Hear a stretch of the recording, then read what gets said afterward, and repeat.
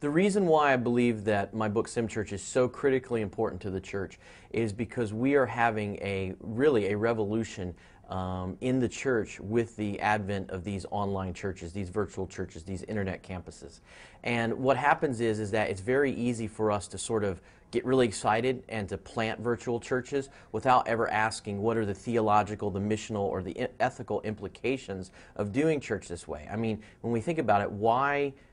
why and how should we do baptism or why and how should we do communion or the Lord's Supper online in a virtual world? And so I think that we need to have a really good conversation about why and how and what these internet churches will look like.